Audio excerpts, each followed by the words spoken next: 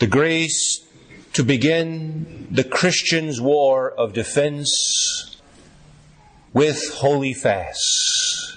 This is how we ended our prayers after we received ashes. In the name of the Father, and of the Son, and of the Holy Ghost, Amen.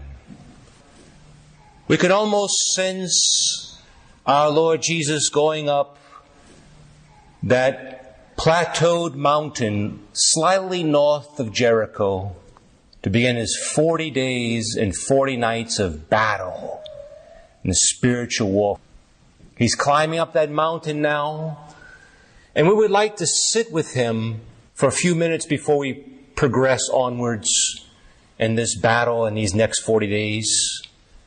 We would like to maybe sit back and reflect on three principal ideas so as to give us a little incentive to unite ourselves to that Christ to work. Because remember, His abstinence is ours. His attention to prayer is easy accessible by us.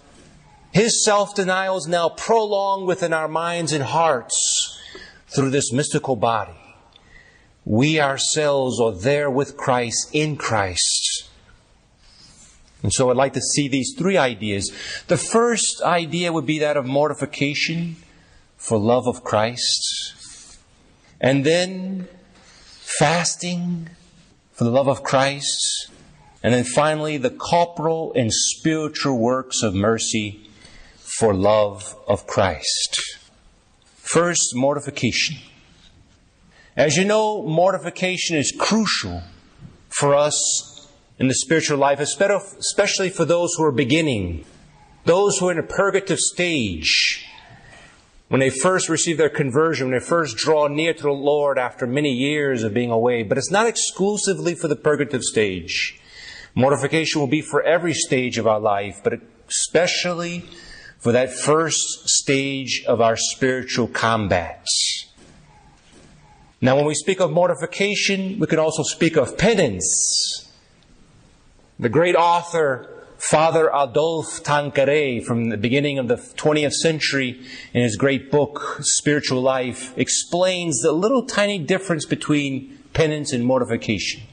Basically, it's the same thing, but penance refers to expiating, uh, mortifying ourselves, self-denying for the sake of our past, whereas mortification is for our present and for our future. So therefore we're trying to put everything back in order. We're trying to form habits and virtues and get away from those vices. So what's the definition of mortification? It's our struggle against evil inclinations in order to subject them to the superiority of our will and reason.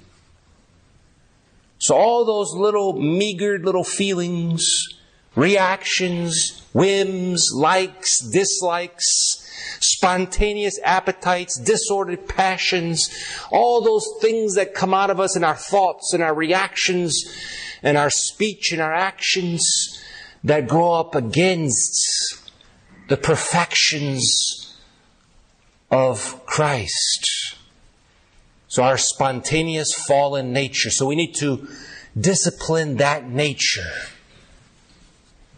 And not only that, but not only to submit our inner struggles to our reason and our willpower, but above all, to submit them to the holy will of God, which is the most important thing.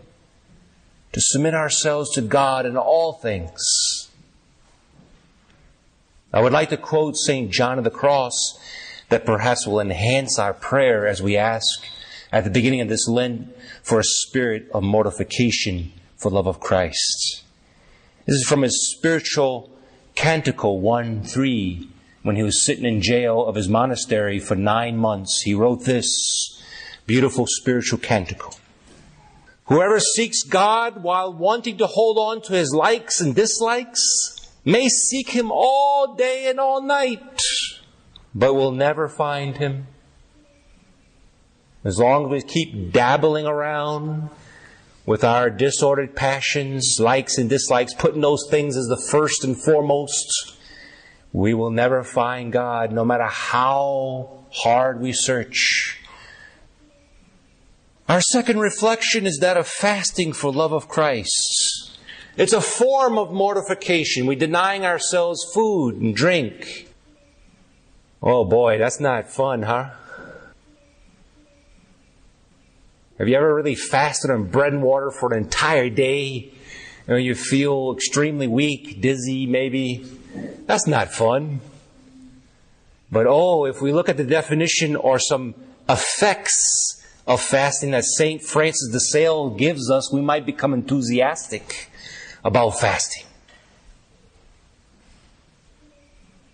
And some of us may be on medication, some of us may be older, we can't fast like with bread and water.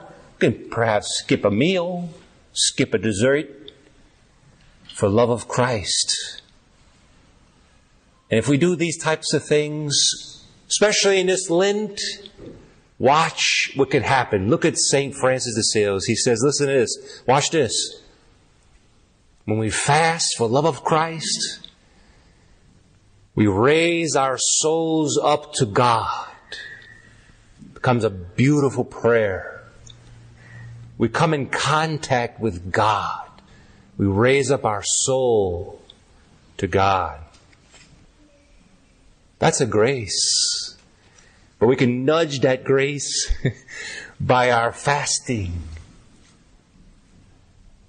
Isn't that beautiful? And then he also says it sweeps away concupiscence.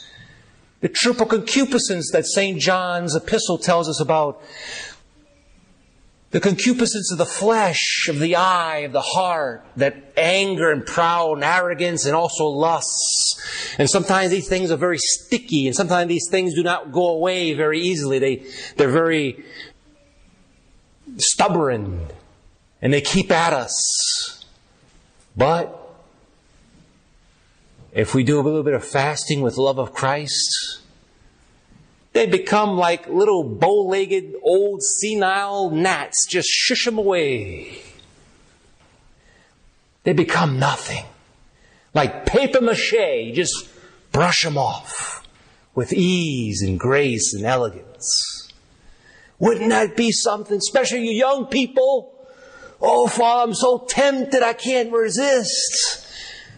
Well, skip your dessert maybe one time. Do it for love of Jesus, and boy, you will become not a mind sweeper, but a concupiscence sweeper. You'll get all that stuff out the way, says St. Francis de Sales.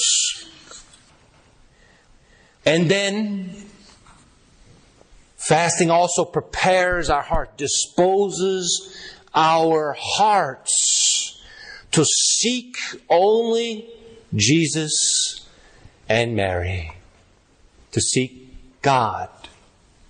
Oh, how our hearts are restless, huh?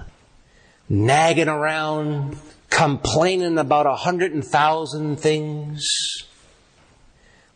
If only our hearts can say, Oh, that's what I'm after. And I can care less about the other things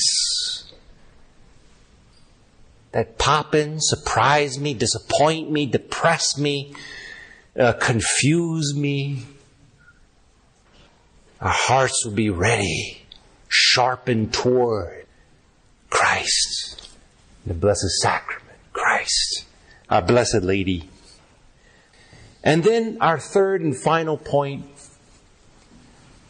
as we reflect, as we ascend that plateaued mountain there near Jericho, where Christ will spend his 40 days, 40 nights. Spiritual and corporal works of mercy. We should try to take trips down to the nursing home, to the prisons, to the soup kitchens, to serve Christ and our neighbors. But before we put too much mileage on the car, we should pay attention to all those little prisoners and all those little sicklings and all those little confused and depressed people in our households and in our neighbors and our communities right nearby. How many of your own flesh and blood sitting next to you is in great need of, of encouragement or advice or a, a piece of good uh, sharing?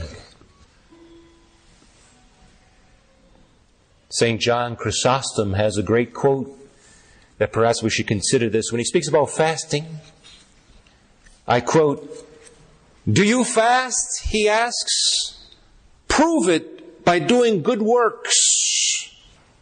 If you see someone in need, take pity upon him. If you see a friend being honored, don't get jealous of him. For a true fast, listen to this, a true fast. You cannot fast only with your mouths. So it's not just a question of going around without bread or without food or without banquets. You cannot fast only with your mouth. You must fast with your eyes and with your ears and with your feet and with your hands and all parts of your body.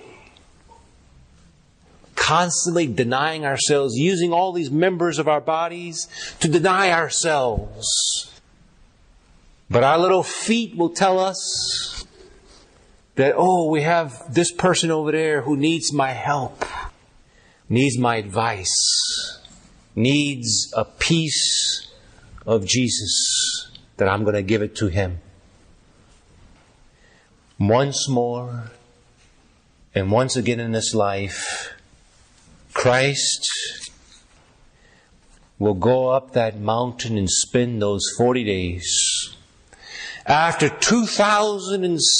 2017 years of doing this in his mystical body every year, it seems as though he has less and less people who wish to go up with him.